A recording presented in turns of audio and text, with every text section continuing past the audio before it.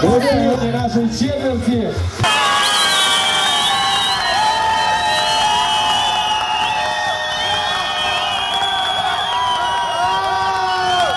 Это ваш можно просто в президенты теперь баллотироваться.